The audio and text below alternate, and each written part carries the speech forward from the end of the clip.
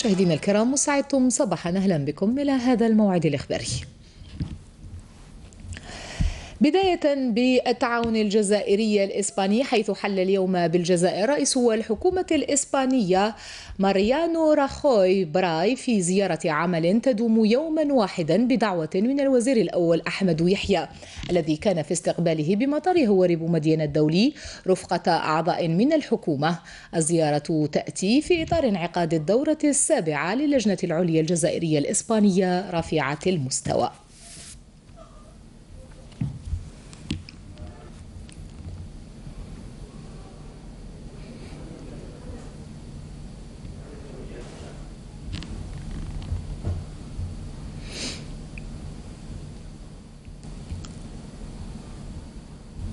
في المجال الصحي تعقد اليوم التنسيقية المستقلة للأطباء المقيمين الجزائريين جمعيات عامة عبر كامل التراب الوطني لمناقشة ما تم الاتفاق عليه. أمس الأول بين الوزارة الوصية وممثلين عن الشريك الاجتماعي والتي توصلت إلى احتساب الخدمة الوطنية واقتطاعها. من فترة الخدمة المدنية ومنح علاوة تتراوح ما بين 20 ألف و 60 ألف دينار حسب مناطق العمل في إطار الخدمة المدنية. هذا كان وزير الصحة والسكان وإصلاح المستشفيات. مختار حزبلاوي قد أعرب عن تفاؤله بالنتائج التي خرج بها اللقاء الذي جمعه بالأطباء المقيمين مؤكدا بأن الدولة ستتكفل بكل انشغالات هذا السلك. تثمينا لموارد الجماعات المحلية ونحو جعل البلديات ذات تسيير ذاتي ومصدرا لخلق الثروة نظمت ولاية الأغواط يوما دراسيا حول التحصيل الضريبي وأهم الصعوبات المالية التي قد تواجهها ميزانية الإدارة المحلية حمزة ملوح. من أجل تسليط الضوء على مصادر التمويل المحلي ذات الأصل الجبائي وإبراز مختلف الضرائب والرسوم المحلية التي تعد من أهم إيرادات ميزانية الجماعة المحلية. نظمت ولاية الأغواط يوما دراسيا حول التحصيل الضريبي وتثمين موارد الجماعات المحلية. لابد أن تكون البلدية آه، خالقة للثروة. وإحنا قبل ما نقولوا خالقة للثروة أنا نقول على الأقل أنها آه، تكون عندها إمكانيات التسيير الذاتي نتاعها وعلى ذلك آه، اليوم ما بقاش نأمل أو نطمع آه، أنه يكون عندنا دائما إعانات آه، من مركزية موجهة للبلديات. صعوبات مالية تواجه معظم البلديات لاختلال التوازن بين مواردها المالية وحجم المهام الموكلة إليها بسبب عراقيل عديدة حالت دون أن تتم عملية التحصيل بنسب عالية. الإشكال اللي نواجهه هو عدم توفر الوسائل المادية والبشرية اللي تسمح لنا باش نتنقلوا عبر أربع تجمعات سكانية وتحصيل الرسم العقاري. بعض المواطنين يعني معناها مازال معنا ما عندهم ثقافة آه، الثقافه نتاع آه، التحصيل هذا يعود لفائدته معناها في خلق مشاريع تنموية للبلدية تاعو. لما يكون عندنا إنتاج قوي نتكلموا عن التحصيل الضريبي. إحنا المشكل الأول راح عندنا مشكل في في المستثمرين ما كانش. وخاصة في المناطق الجنوبية.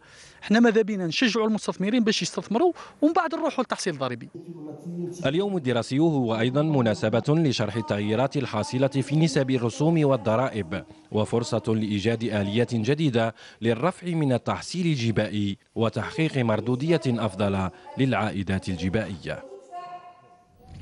إخضاع المنتوجات المتواجدة بالسوق لتحاليل وتجارب مخبرية أمر من شأنه حماية المستهلك والاقتصاد الوطني.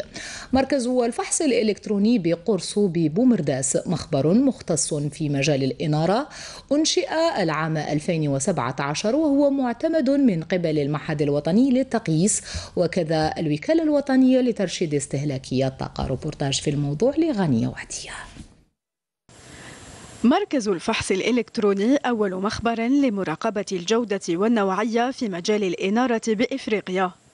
نحن مختبر معتمد من طرف وزارة التجارة ولديه الإمكانيات ومخول لمنح شهادات في مجال الإنارة العمومية أو مجال الإنارة المنزلية أو إنارة في مجال ذات الاستعمالات الخاصة. المخبر في طريقه للحصول على اعتماد إيزو 17025 ما يؤهله للعمل وفقا للمقاييس العالمية كما يسعى للحصول على الاعتماد من قبل الهيئة الجزائرية للاعتماد كمخبر لإجراء المطابقة. على ال température de couleur باش نحيو اللبس عند ال consommateur final كل ما هو مصباح.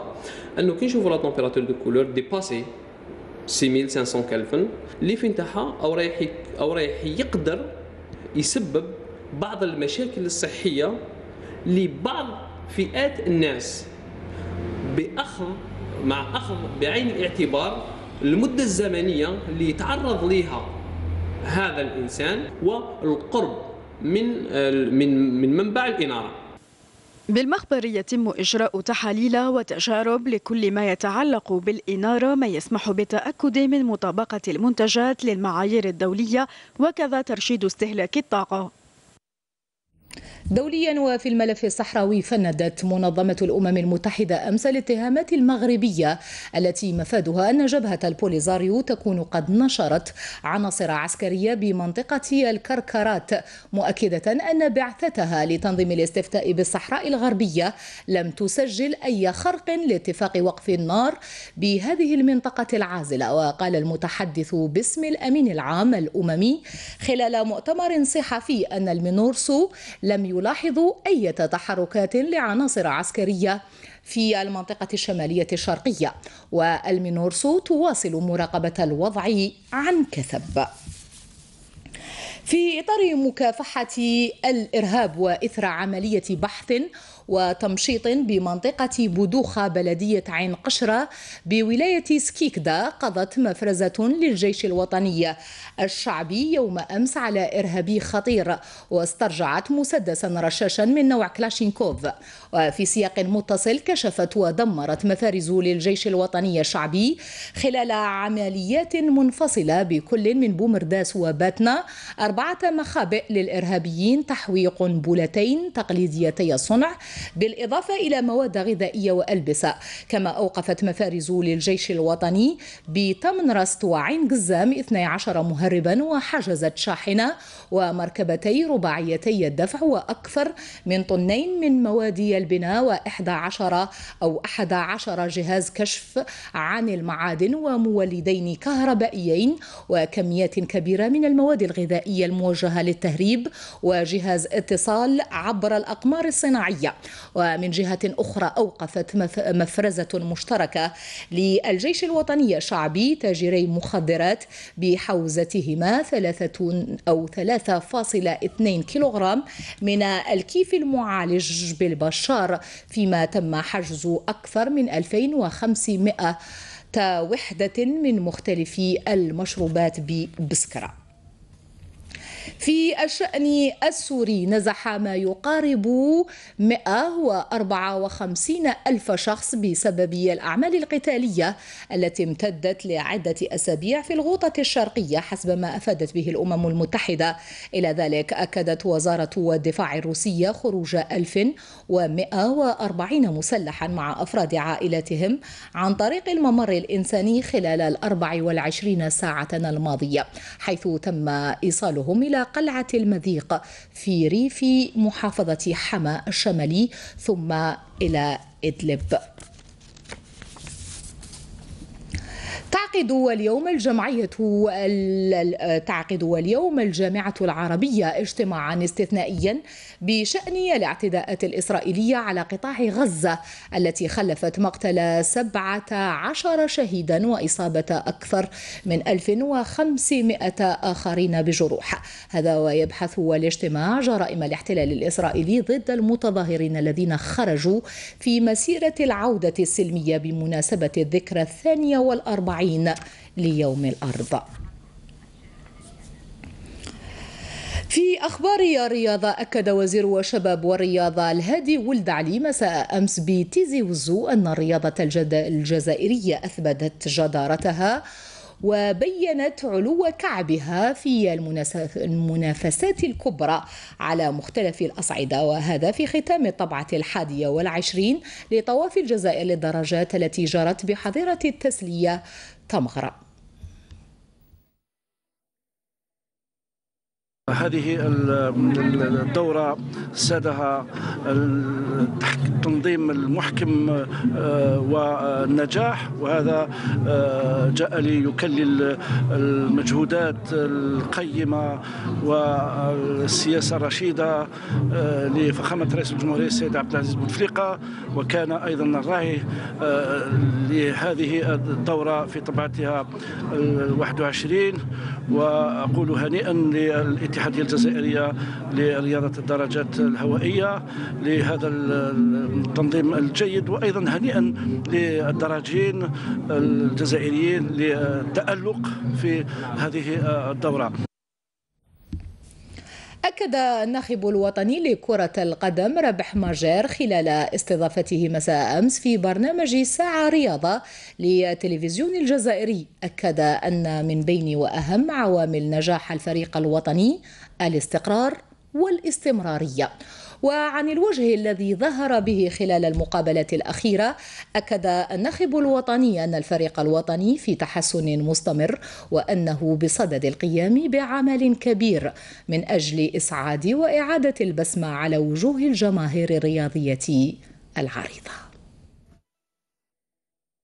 إحنا نحبوا استقرار استقرار المنتخب واستقرار الاتحاديه، الاتحاديه راهي تقوم بعمل وحنا رانا نقوم بعمل فقط عام وانت عندك ست شهور يعني ست شهور يعني ست صغار شوية يعني خلونا نخدموا اليد في اليد لأن خلونا نكبروا وعلاقه النتائج وعلاقه ربح ماجر بالمديريه الفنيه بسيد ربح سعد عاديه عاديه بكل يعني, يعني الحمد لله الاتصالات فيه ما فيش اي مشكله نتلاقاو آه، كثير لما نكونوا في ترابصات مع سعدان مع مع الطاقم الفني مع شارف مع المدربين اخر y a bonne ambiance ما فيش اي مشكله والله العظيم ما فيش أي مشكلة. ما تمنوش الكلام هذا اللي يقول à droite à gauche ما كاش منه كاع وأيضا ممكن نبعث رسالة للشعب نعم. الجزائري.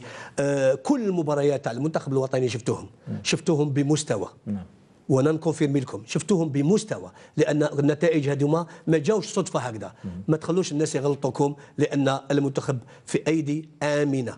ورانا نخدم إن شاء الله للنجاح. أعملوا فينا الثقه وإن شاء الله نرد لكم البسمة والبهجة إن شاء الله في أيام المقبلة إن شاء الله. نبقى مع أخبار المستديرة والموعد اليوم وابتداء من الساعة الخامسة زوالا مع الكلاسيكو الواعد والمقترح بأهداف متباينة ضمن تسوية رزنامة المحترف الأول موبيليس في مباراة متأخرة من الجولة الثالثة والعشرين حيث تستقبل شبيبة القبائل فريق مولودية الجزائر بملعب أول نوفمبر بتيزي وزو. ورقة في الموضوع لكريميت عثمان. كلاسيكو البطولة الجزائرية الذي لطالما خطف الأنظار. لن يخرج عن القاعدة هذه المرة. كيف لو المولودية لا زالت تحلم باللقب والشبيبة ترفض أن تسقط هذا الموسم؟ هي معطيات تاريخية وآنية تجعل من المباراة لا تقبل القسم على اثنين. فالشبيبة التي تنفست بتأهلها في منافسة الكأس إلى المربع الذهبي وعادت بتعادل ثمين من بسكرة تراهن على لمسة مدربها يوسف بوزيدي ودعم أنصارها اللامتناهي. ضف إلى ذلك اكتمال التعداد وتعدد الخيارات. لكن اللائق الأكبر بالنسبة لها سيكون المستويات الاستثنائية التي أصبحت المولودية تقدمها في المدة الأخيرة. المولودية أصبحت مرعبة لكل النوادي بمدربها كازوني الذي أضحى يملك تشكيلة جاهزة لا تتأثر لا بالغيابات ولا بالضغط وتخلق فرصا بالجملة وتسجل عديد الأهداف في كل المباريات. الأكيد أن السسبنس والإثارة سيكون السمة الغالبة في هذه المواجهة الكلاسيكية التي ستحبس حتما الأنفاس سيما وأن الفوز بالنسبة للمولودية يجعلها تقلص الفارق إلى ثلاث نقاط عن الرائد شباب قسنطينة. أما الانتصار بالنسبة للشبيبة فيخرجها من منطقة الخطر. بهذا نكون قد وصلنا إلى الختام. شكرا لكم على المتابعة فيما يلي حصاد الصحف.